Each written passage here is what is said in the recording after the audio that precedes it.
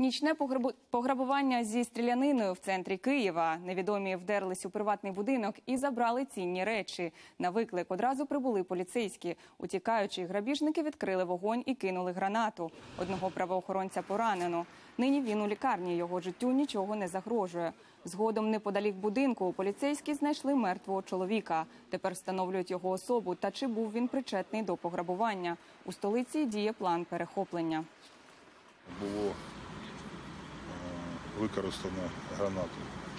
Один, е, відразу один поліцейський отримав поранення вогнепальні, його доставили швидку допомогу. На теперішній час його життю нічого не загрожує. В ході переслідування е,